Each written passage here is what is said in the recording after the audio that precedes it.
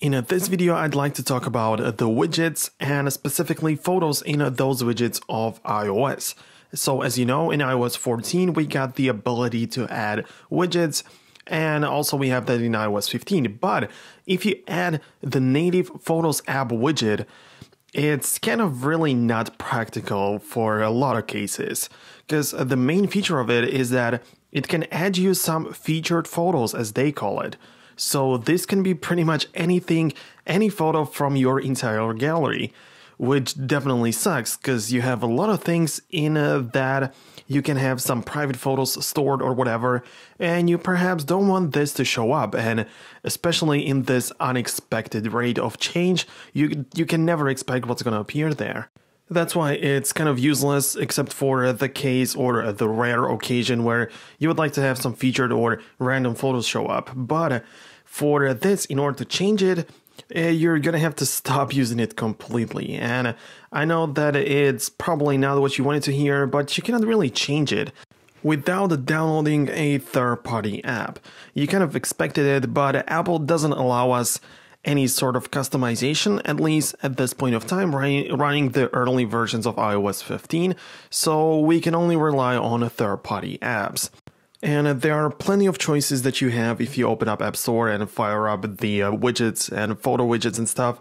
There are plenty of options to go for, but uh, the most popular ones are, of course, going to pop up first. So it's pretty much whatever you decide to use.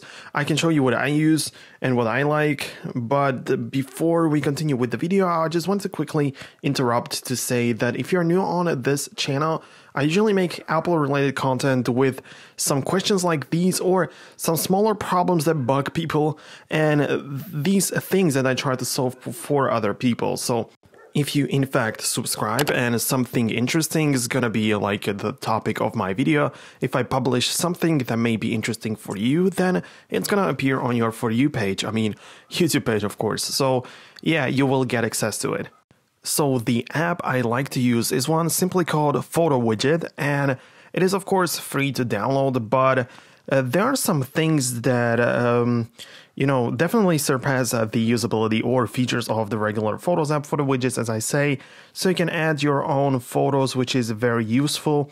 You sort of create your own like albums and stuff.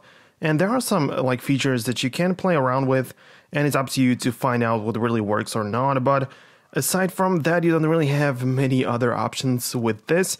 I mean, it's just for the widget. It's not a photo gallery or it doesn't give you any sort of uh, edits eh, besides the widgets. So this is pretty much all you get.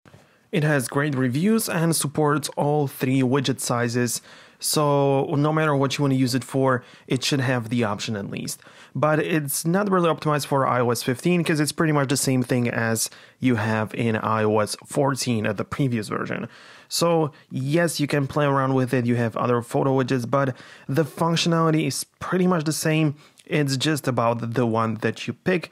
Most of them are free, and if there is something that you need to pay for, uh, you better make sure that it's something special that you do not get anywhere else, because uh, there were a lot of scammers and a lot of apps that simply charge for something basic like this, and uh, there are plenty of apps that do it for free. So make sure to go ahead and do your research, but uh, there are some links to those apps in the description of the video down below, so you can click it and it's just gonna get you there instantly.